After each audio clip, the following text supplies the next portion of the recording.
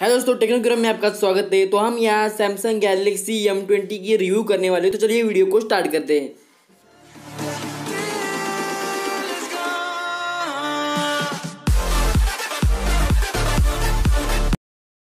Samsung Galaxy की expected price सत्रह हज़ार नौ सौ नब्बे रुपये है। अभी तक ये लॉन्च नहीं हुआ है, पर जल्दी ही लॉन्च होने वाला है। इसकी लॉन्चिंग डेट है जनवरी 2019 को ये लॉन्च होने वाला है। इसमें बहुत सारे फीचर प्रोवाइड किए जाते हैं। 5.6 इंचेस का बिग डिस्प्ले इसके साथ प्रोवाइड किया जाता है।